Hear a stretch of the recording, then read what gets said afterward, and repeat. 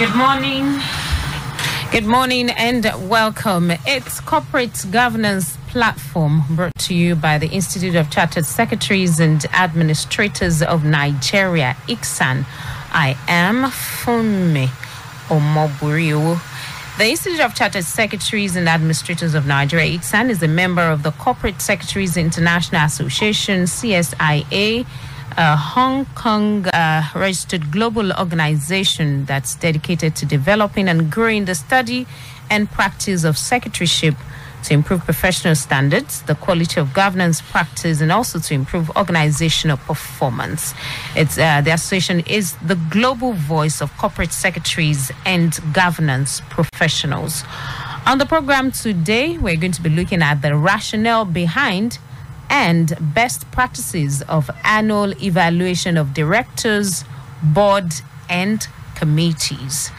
Our guest this morning is uh, Mr.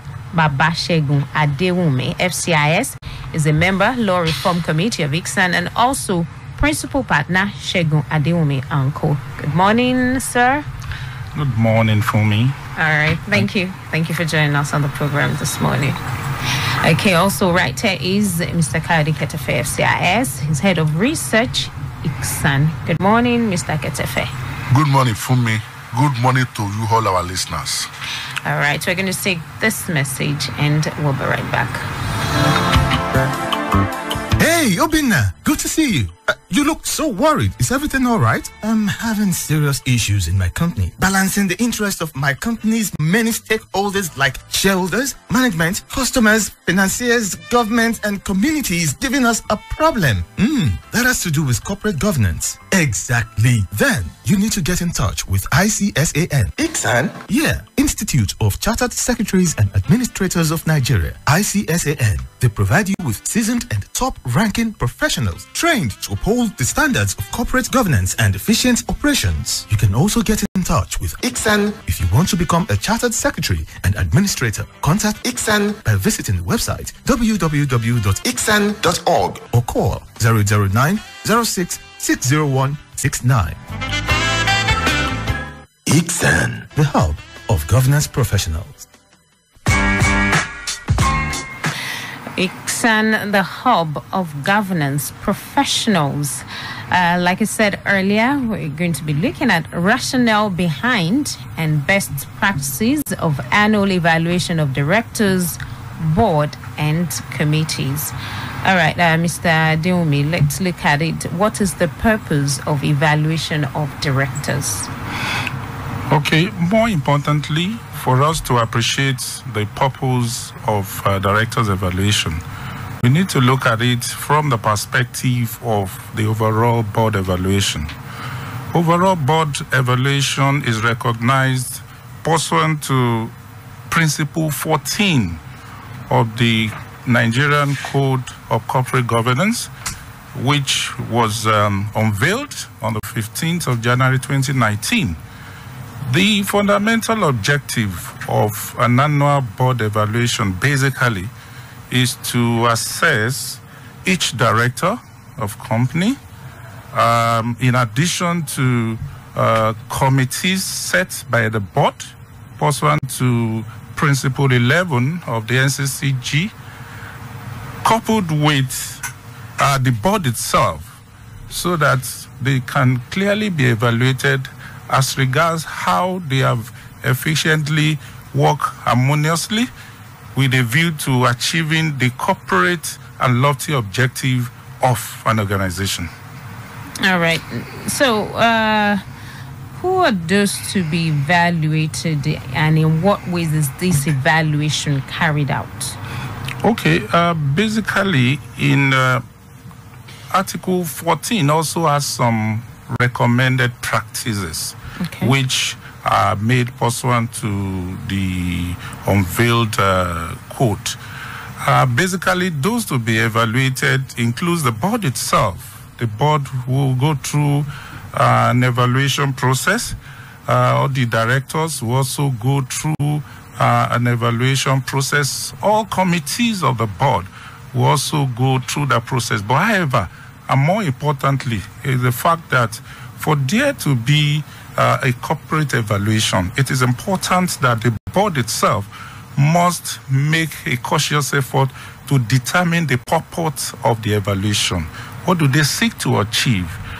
The, the process of carrying out evaluation goes beyond just looking at to what extent directors or committees or the board itself has actually carried out its function effectively. Goes beyond that. They need to look at what the effect of the board dynamics that have been put in place, what effect does it have on the organization on a long-term and short-term basis?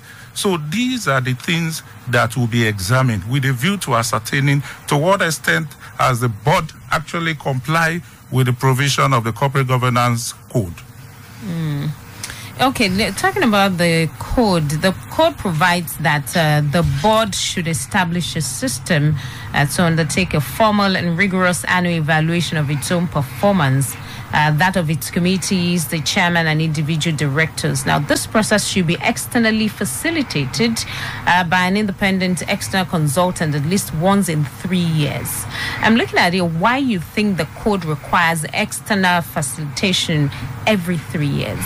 Yes, the importance of um, external facilitation basically is uh, preceded upon the fact that if such exercise is carried out by somebody who is external, there is a presumption that there will be more independence, there will be more transparency, and the external consultant will also bring fresh ideas, fresh perspectives into the exercise. So that is the reason why an independent body was recommended as the body that will be charged with the responsibility of carrying out such evaluation, which of course is more is presumed to be more efficient, is presumed to be more effective, and is presumed to be more transparent. Now, another provision of the code is where the performance of a director is considered uh, to be unsatisfactory, uh, the board should provide appropriate training to address the identified gaps. Uh, don't you think this provision may attract additional costs for the company? No doubt. Training is not cheap. And what is the objective of training? The objective of training is to enhance the capacity so once a training is geared towards enhancing capacity, even though costs will be expended. But again, what uh, Principle 13.4 of Code of Corporate Governance says is that yes, training of directors should be enhanced, but such training should be done in a way that it does not affect the company's financial so much. It does not put any negative financial burden on the organization. In addition to that, even Article 13 of the Code of Corporate Governance recognizes that directors, even new directors, should be subject to training, regular training, periodic training to enhance their capacities so that even new directors will be able to understand the fact that, yes, we need to understand what are the corporate strategy of this organization. What is the strategy? What is the overall objective of the organization? So, such regular, periodic consistent training will enhance their knowledge base and they will be able to contribute meaningfully towards achieving the laudable objective of the organization. Now, what advice uh, do you have for companies and organizations who conduct evaluation annually or periodically but uh, fail to act on the result of such exercise?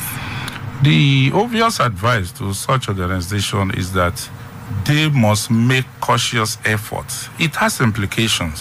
One of the fundamental objectives of carrying out such an exercise, pursuant to Principle 15 of the Code of Corporate Governance, really, is to ensure the institutionalization of corporate governance principle. So it's very important. And for such organization who carries out such acts and but fail to act on it, part of the challenges they will have, it also dovetail on the probable challenges they will have with investors. Even their relationship with shareholders might be impacted as a result of the objective of performance evaluation of the board itself is to identify gaps. So when all these gaps are identified, it stands to reason that cautious effort must be put in place to ensure the implementation of those recommendations. And for, for companies who failed, they will be seen to violate the obvious provision of the Code of Corporate Governance 2018.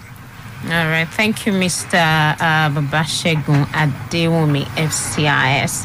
Um, Mr. Ketefe, let's uh, take some announcements at this time. Question? Yeah, okay. Yeah, let's quickly take an announcement and then I'll, I'll come back to definitely. Thank you definitely. very much. The announcement we have to for you is on June 2021 exam examination.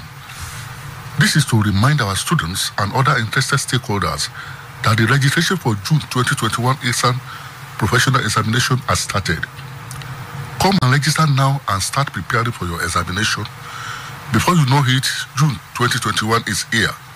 Besides, you can also register as a student and later register for any diet examination at your convenient time. Registration as a student is always ongoing. We also want to inform our students that the lecture for the said June 2021 diet will commence this Saturday, January 38, 2021.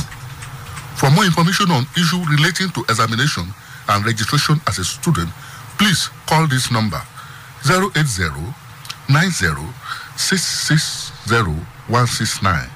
080 90 660 169. Thank you very much. Okay, now let, us come back to the issue of this evaluation, of course, that uh, we've been talking about, given the importance uh, of the evaluation in the context of uh, corporate governance. Now, does the Institute, talking about ICSAN, render service of conducting evaluation for companies and firms who require the service? Thank you very much for this question. ICSAN has a robust tradition of propagating knowledge on board evaluation as an important concept in corporate governance. This, of course, is to be expected. You know, it's because uh, board evaluation is all about assessing the effectiveness of the board as the engine room of corporate administration. And as it is, it is only an effective board that can instill the principles of good governance in their operations. So many companies and firms are in the habit of contacting the institute to provide in-house lecture to their staff on how board evaluation is to be conducted, which ICSAN has been doing creditably. Furthermore, the institute has also been frequently engaged to assist in actually conducting board evaluation for a number of organizations and is still ready to offer this service to any organizations, any organization that requires it. Okay, now does ICSAN also have specialized training and guidance materials on how this evaluation is to be carried out? Thank you. ICSAN has been training many stakeholders on board evaluation for years, and notably, she has also been training the trainers who will train others. That is uh, our Train the Trainers uh, project. But this is just a tip of the iceberg. What we have in stock on this subject this year, 2021, is really appreciable. We have lined up a lot of workshops and training this year, among other enlightenment campaigns. Of course, the train the trainer is still on. You'll be hearing about the precise dates as the time of these events draw near. We are also in the offering a number of publications on the subject for the education and enlightenment of all the stakeholders. Actually, ICSAN has produced guidance on board evaluation serially in the past. But like every other area of corporate governance, board evaluation is a dynamic area. Thus, we have kept on updating our materials on the subject. As a result of this, we are producing, among other things, another guidance material on board evaluation this year. Precisely, the next edition of our company secretary handbook is dedicated exclusively to the theme board evaluation and corporate governance evaluation. We shall duly notify the public when the material is published. In addition, the Institute has in stock a number of trainings on board evaluation across many states of the Federation this year. We are using this medium to invite interested stakeholders to this serial training.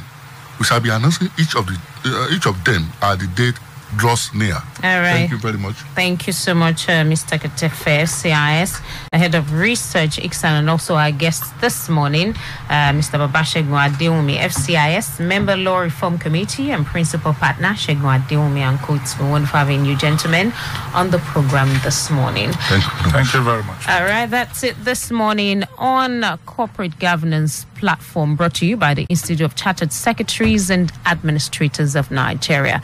The program returns next week, Wednesday, 10.15 a.m. right here on Equate 9.7 FM. I am Funmi Omoburiwo. Enjoy the rest of the day.